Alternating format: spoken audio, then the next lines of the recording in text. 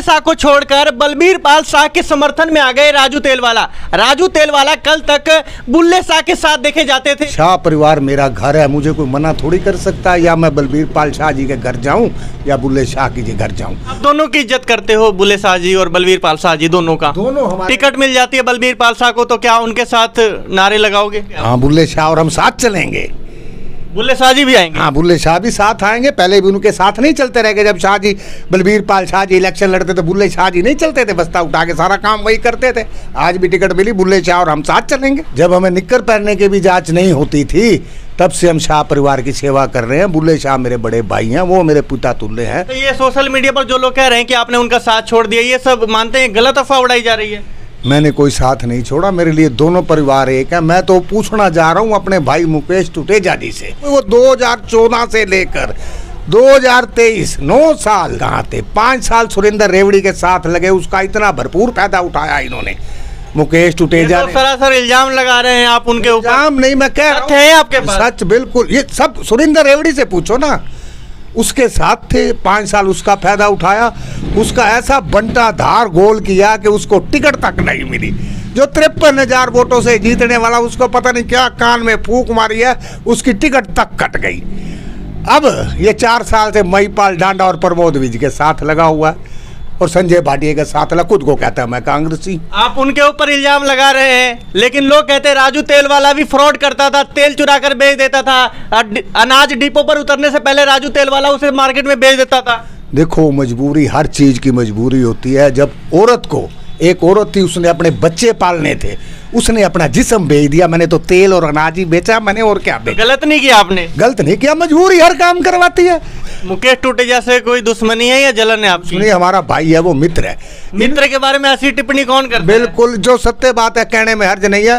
कई लोगों को ना एक साल पहले पता लग जाता है जैसे वानर को अपनी मृत्यु का दस दिन पहले पता लग जाता है। तो वानर अपने परिवार को छोड़कर चला जाता है।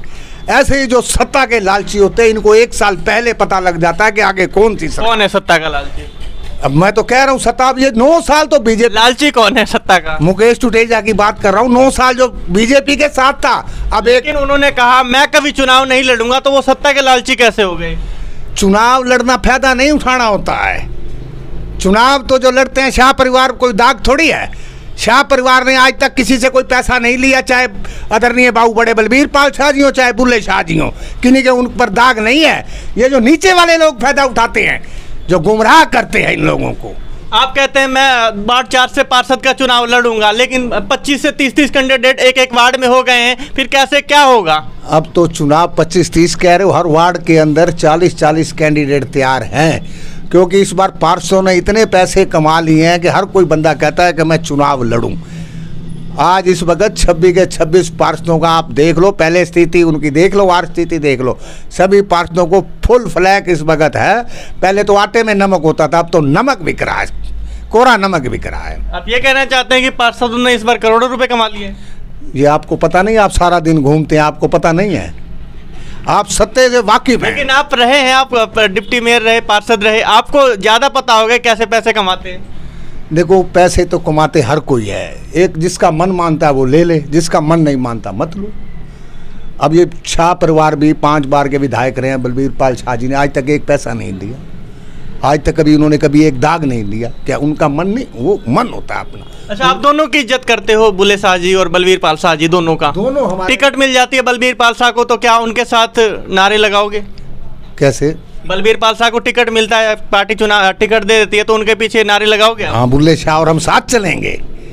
बुल्ले शाह जी भी आएँगे? हाँ बुल्ले शाह भी साथ आएँगे पहले भी उनके साथ नहीं चलते रह गए। जब शाह जी बलबीर पाल शाह जी इलेक्शन लड़ते थे बुल्ले शाह जी नहीं चलते थे बस्ता उठा के सारा काम वही करते थे।